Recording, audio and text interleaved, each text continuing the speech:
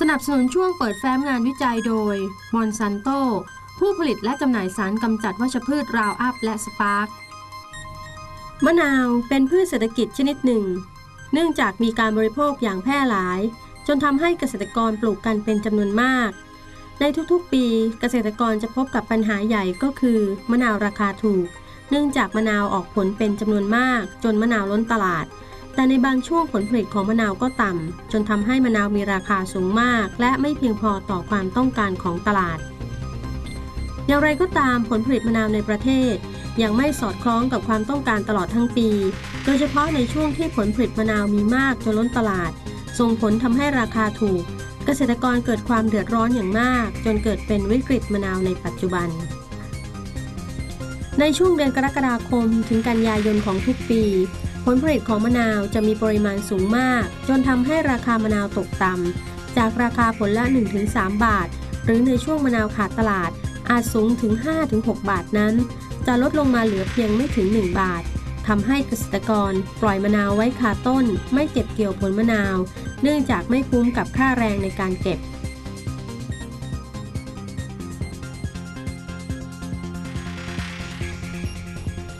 การแปรรูปมะนาวจึงเข้ามามีบทบาทอย่างมาก เพื่อที่จะใช้ผลผลิตมะนาวที่ได้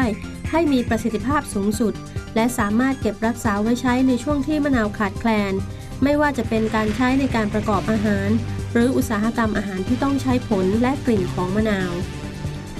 แนวคิดการแปรรูปมะนาวในรูปของน้ำมันหอมระเหย จึงเป็นทางออกอีกทางหนึ่งที่สามารถใช้ประโยชน์จากมะนาวให้มีประสิทธิภาพ โดยใช้เพียงเปลือกของมะนาวเท่านั้น นำมาผ่านกระบวนการกลั่น เพื่อแยกน้ำมันกับน้ำออกจากกัน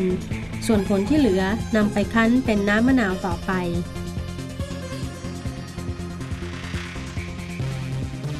เครื่องกันน้ำมันหอมระเหยขนาดเล็กที่เห็นอยู่นี้นะคะ ก็ออกแบบมาเพื่อที่จะแก้ไขปัญหาในช่วงที่มะนาวล้นตลาดนะคะในช่วงที่มะนาวราคาตกต่ำไปจนถึงลูกละไม่กี่สตางค์นะคะ ถ้าเกษตรกรที่สนใจที่จะกลั่นน้ำมันหอมระเหยจากผิวของลูกมะนาวออกมาขายเนี่ยก็จะเป็นการเพิ่มมูลค่าของมะนาวในช่วงที่มะนาวไม่มีราคานะคะ เป็นเครื่องกันขนาดเล็ก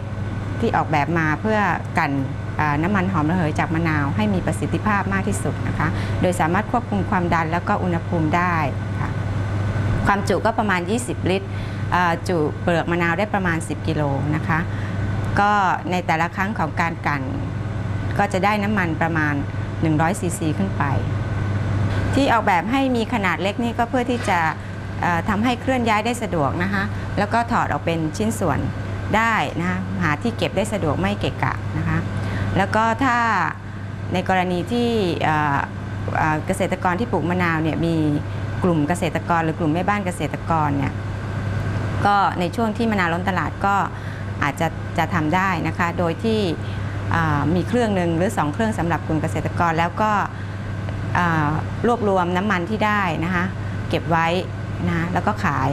เมื่อมีผู้สนใจแล้วหาตลาดได้นะคะ ตอนนี้เนี่ยตลาดของน้ำมันหอมระเหยเนี่ยค่อนข้างจะดีเนื่องจากว่ามีการนิยมการบำบัดที่เรียกว่าอโรมาเทอราปีนะคะน้ำมันหอมระเหยจากมะนาวของไทยเนี่ยหรือที่ที่ที่เป็นลามออยเนี่ยนะคะ ก็จะมี ผลทำให้เกิดความสดชื่นนะคะแล้วก็อาจจะไปผสมในเครื่องเครื่องสำอางหรือว่าอาหารอออาหาร เช่นพวกลูกอมรสมะนาวต่างๆนะคะก็จะมีกลิ่นหอม หรือใช้ในการบำบัดทางอโรมาเทอราปีก็คือเอาไปผสมในเบสออยล์อื่นๆนะคะใช้ทำให้เกิดกลิ่นหอม แล้วก็ช่วยให้จิตใจสดชื่นได้นะคะเพราะฉะนั้นตลาดของน้ำมันหอมระเหยตอนนี้คิดว่าน่าจะ ไปได้ดีพอสมควรนะคะในอุตสาหกรรมอาหารและน้ำหอม ให้ความสำคัญต่อกลิ่นที่จะนำมาใช้ ซึ่งกลิ่นที่มาจากธรรมชาติ กับกลิ่นที่มาจากการสังเคราะห์นั้น มีความแตกต่างกันในด้านองค์ประกอบของกลิ่นอย่างชัดเจน และกลิ่นจากธรรมชาติยังทำให้ผู้ใช้เกิดความรู้สึกที่ดีด้วย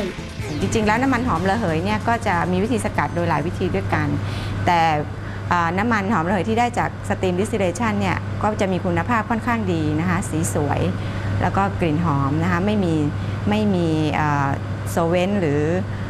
ตัวทำละลายอื่นๆเจือปนนะคะเป็นเป็นตัวน้ำมันเองเลยจริง ๆ 100%นะคะในปัจจุบันที่ที่เห็นอยู่ก็คือใช้ในอุตสาหกรรมอาหารนะคะใช้แต่งกลิ่นอาหาร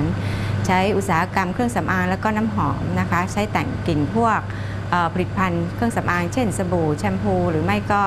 น้ำหอมนะคะที่มีกลิ่นพวกซิตรัสทั้งหลายนะคะลามก็จะเป็นตัวหนึ่งที่ที่ทำให้กลิ่นของน้ำหอมเนี่ยมันเกิดความละมุนละไมขึ้นนะคะแต่เครื่องสำอางที่ขายถูกๆเนี่ยส่วนใหญ่เขาก็จะใช้พวกฟราเกนซึ่งเป็นกลิ่นสังเคราะห์นะคะซึ่งจะมีราคาถูกกว่า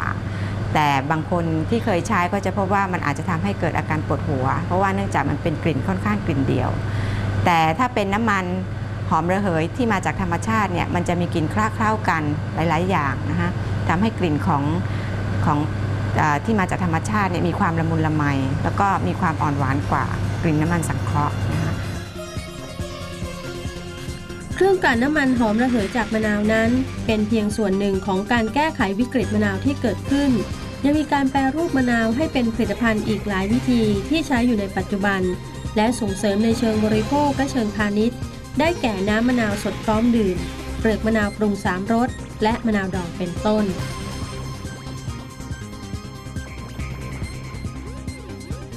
ผลิตภัณฑ์ตราแม่ครัวฉลากทอง ขอมอบของที่ระลึกให้กับนักวิจัยผู้ร่วมรายการประจำสัปดาห์คือ เครื่องปรุงรสของผลิตภัณฑ์รวมตราแม่ครัวฉลากทองหนึ่งชุดใหญ่ ขอขอบคุณมอนซันโตผู้ผลิตและ